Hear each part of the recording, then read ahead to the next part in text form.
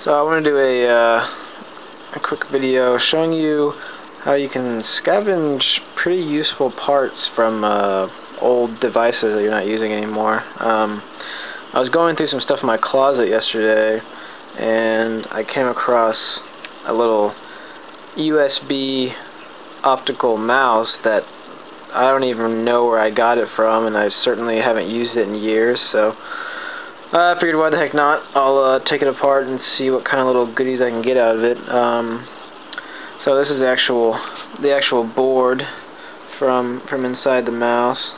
I've already taken some pieces off, but you can see like a little integrated circuit there, which is a I've you know looked it up online and figured out what all the pins do. I'm not sure how useful the actual the actual IC will be, but you can see there's some, you know, capacitors on here, LED or two, a little, little transistor there, and uh, some some resistors, but not sure if we're going to pull those off or not.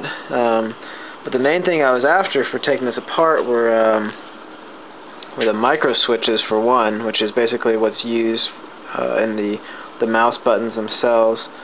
You can see there's a little little blue on there, and you can hear that or not clicking sound, but basically it's just you know that's what that's what you click when you click your mouse is one of these little guys.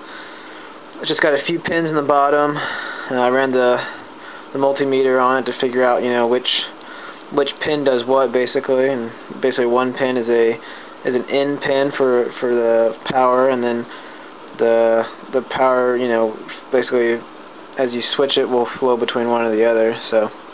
Uh, another piece I was after in here was the actual optical part of it. Um, this little guy here is what actually is in the bottom of the mouse and, and is what is used to detect the uh, change in direction.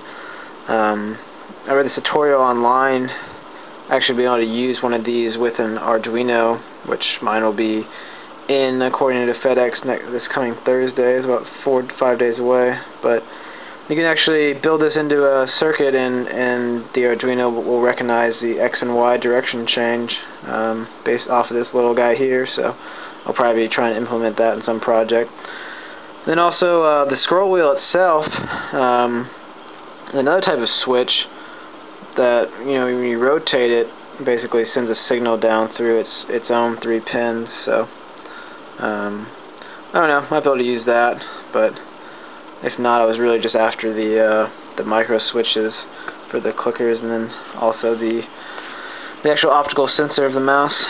Um, so I was testing out uh, how to use the switches, and I just you know did this really simple setup here with, with the buzzer, and so basically when you push the uh, push the micro switch, the buzzer sounds. Nothing fancy, but I was just making sure that I knew uh, knew how the micro switches switches worked for for an application. So uh, plan on using using one of these switches in my lamp project that I'm working on. I, I might even be able to use the the scroll wheel for that, but we'll see. So just kind of cool being able to take apart a, a device and scavenge some some uh, somewhat somewhat useful uh, items out of it. So if you're uh, interested in in electronics at all, then I definitely recommend looking around and finding things that you can tear apart and play with. So.